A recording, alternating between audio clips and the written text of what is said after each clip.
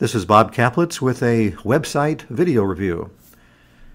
Overall, there are some videos here, which is a good start. The problem is, video box is too small. Video should be a main focus. People love clicking on the videos. When they click on images, uh, well, they go to more text. So our first recommendation is make the video box larger and more prominent. Let's, um, let's see what the video has to say. For 35 years, the eye doctor's office and eye gallery have been making people's lives better and more productive by providing the best eye care in the city of Dallas. Two immediate recommendations. Number one, music makes people think of commercials. People don't like commercials. Music gets in the way.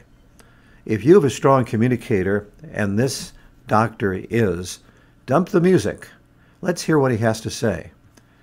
Let's see him. Let's allow him to connect with us. Now, speaking of that, the screen is showcasing the office. Look around. The, the doctor occupies maybe a third of the picture. Take the doctor full. Let him make an impact with people who come to the website. We treat both simple and complex eye problems. May it be blurred vision, eye strain, headache, a concern about an eye disease, or simply improving your vision through new glasses or contact lenses, we have the answers and the solutions to satisfy your needs. We have the answers and solutions to satisfy your needs is nice, but does that really separate this practice from other practices? Viewers are very skeptical. They've heard this before. Take the time to get to know you. We really care. Unlike we really care. Another generic claim. The more specific, the more tangible you can get, the more believable you'll be, the more viewers, prospects, consumers will trust you. Licensed to treat eye diseases. I'm an optometric glaucoma specialist, and I'm also on the faculty of the University of Houston Eye Institute College of Optometry. Bingo. Now that is impressive, at least sounds impressive to me. Rather than burying that far down, play it higher. Uh, that separates this doctor immediately from, from so many others. Everybody says we, we take the time, we care, we, we, we love our patients. When you get into specifics like that, you're making points.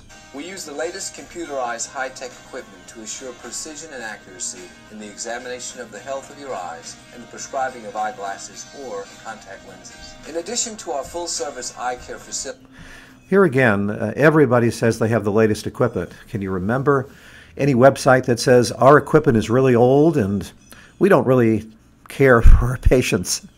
Doesn't happen. If you come across one, let us know, please. A better approach is to be more specific and to showcase your specific competitive advantage.